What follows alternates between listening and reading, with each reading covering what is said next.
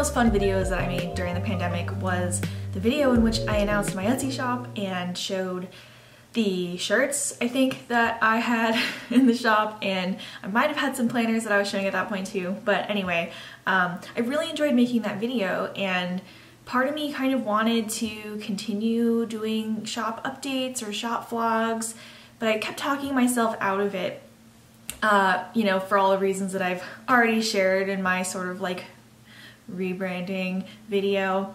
But I'm doing it now because I really enjoyed it and I feel like I'm learning so much and so if there's anyone out there who's also doing a little bit of an Etsy thing or just trying to work on some hobbies or monetize their hobbies, I just want to show my process and some of the things I'm learning. It's November 27th and I have been working on the 2022 planner for my shop for a few weeks now, um, just trying to like get all the designs ready to go and figure out how to print and assemble these things myself this year. Last year I created the what I call the life priority planner. Basically it was just a way that I have used myself to focus on how to prioritize things in my life rather than just make like a never-ending to-do list that I'll never complete and feel like a failure over. So I figured, hey, other people might have that perspective as well. So I developed this planner um, so I was creating all the pages from scratch and then I decided to get them printed at the kind of last minute. I was really last minute on most things the past couple years or year plus of running my shop. So I kind of threw this together last minute and I got them bound, which it's not my first choice getting a book bound like this rather than like a wire binding that you can like flip the pages all the way over or have it lay flat, but this was the option I had. This is the option I went with. Now all of that leads to yesterday when I printed one of these bad boys. So I decided to just go ahead and print the 2022 dated planner um, that I think I'll be using depending on how the rest of this goes. We'll get there. But um, printed this hefty boy. We've got a lot of pages. Um, and I printed it on just standard letter size because I was also curious of offering maybe multiple sizes. Why do I have a too much problem? This is so bad for me. The second size will be probably close to this one. Uh, I'm thinking of doing like eight and a half by five and a half insides with like six by nine covers.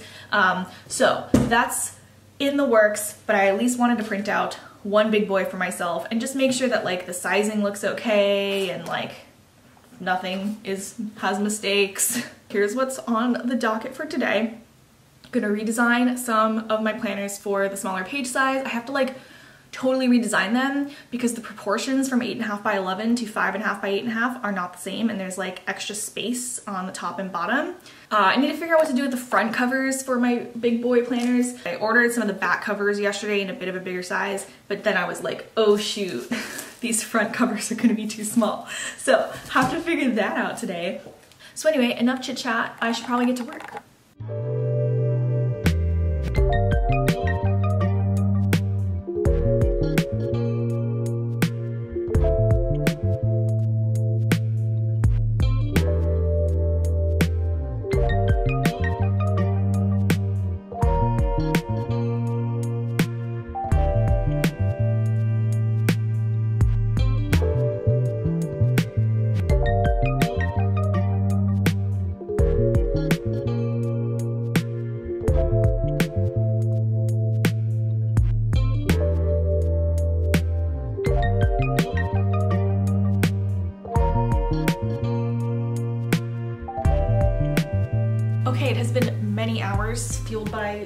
These peppermint chocolate candies and that took a lot longer than I expected. I was able to manually reformat every single design for the smaller page size, but I'm having a lot of trouble printing the dang thing at the correct size.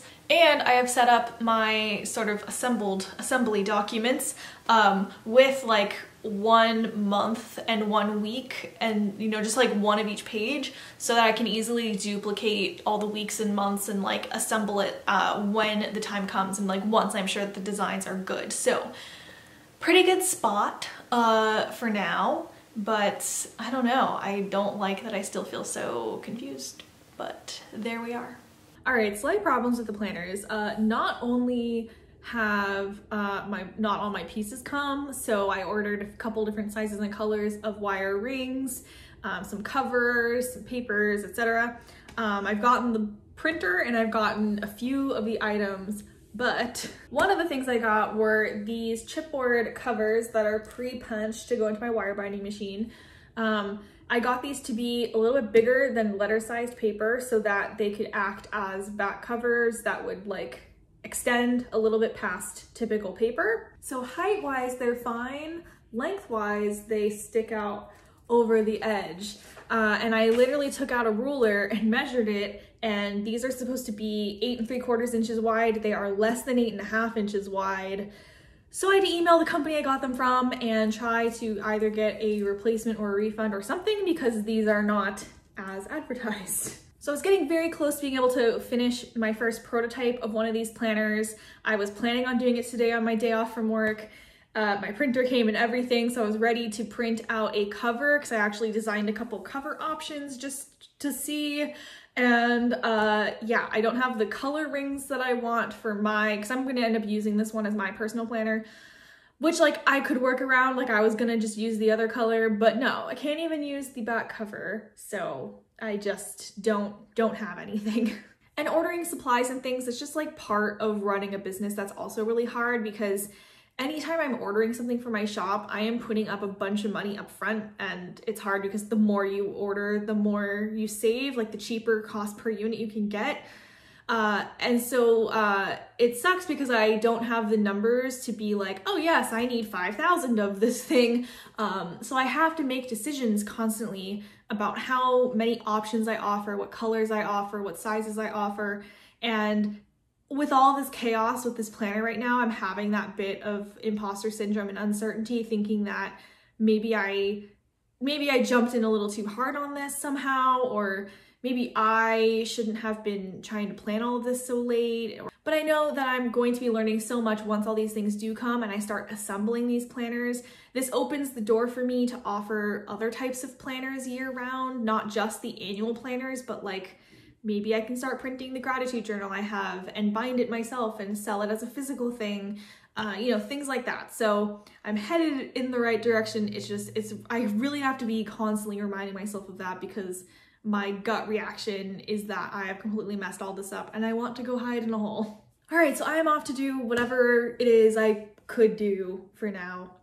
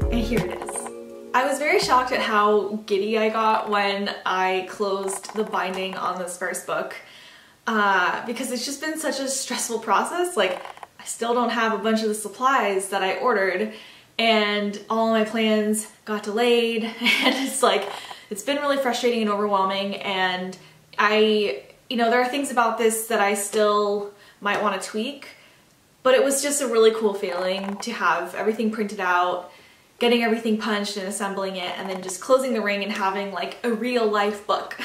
These are the moments that I try to really take note of and remember because this is why I do these things. like I did all of that work to have this in my hands and be able to offer it to people. So that is what I'm trying to stay in right now as I await more information on, on my supplies and just trying to make even more decisions going forward. But all in all, we are at a point where I'm ready to photograph this and get it out into the world. And then this becomes my planner next year. So um, I'm really excited to crack into this once I'm done with all the photos and start planning my year because it's getting real close to the end of the year.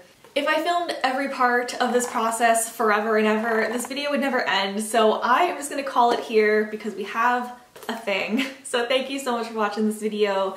Uh, if you liked it, please give it a thumbs up and subscribe to my channel. Leave a comment to let me know what you think about this kind of video format and I'm looking forward to seeing you in my next video. Bye.